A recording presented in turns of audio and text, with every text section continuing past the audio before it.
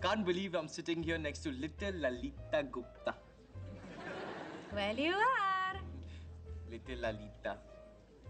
That's kind of fun to say. Little Lalita, little Lalita, little Lalita.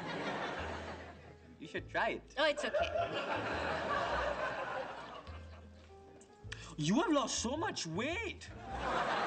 That must have been difficult for you because you were so, so fat. Do you remember? Yes, I do. Of course you do. Who could forget being that fat? Well, I've been trying. So you're a dental student. Hmm. Are you aware that dentists have an extremely high suicide rate? Well, not as high as, say, air traffic controllers, but then there are far more dentists than air traffic controllers, so in pure numbers, you're still winning. Yay, me. You have a drink that'll make him less obnoxious? Drinks do not work that way. So he's doing fine. Look at her. Last girl my mom set me up with had a mustache and a vestigial tail. Sorry I'm late. What happened?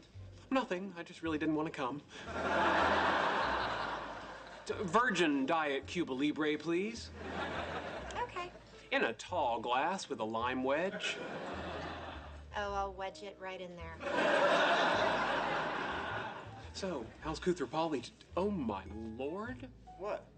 That's Princess Panchali. I'm pretty sure her name's Lalita. No, no, Princess Panchali from The Monkey and the Princess. Oh, yeah. I tried to watch that online, but they wanted my credit card. It's a children's story. No, no, it isn't.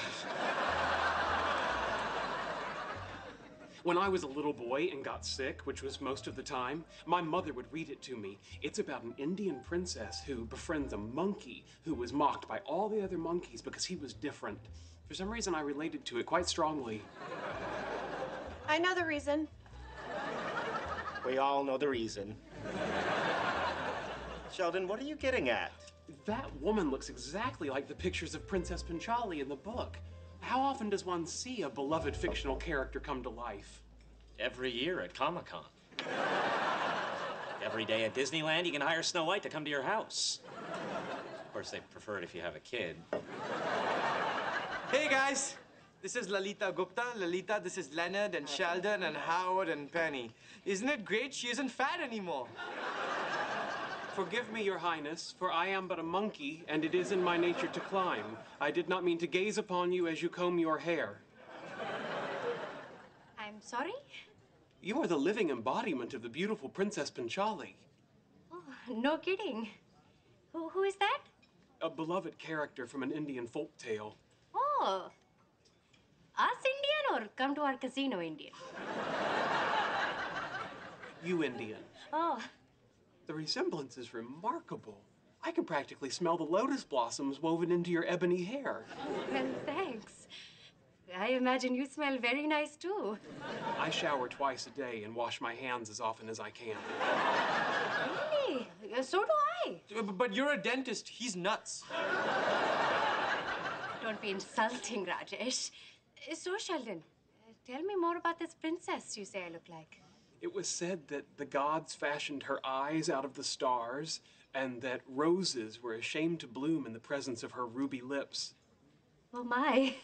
Back off, Sheldon. What? If you do not stop hitting on my lady, you will feel the full extent of my wrath.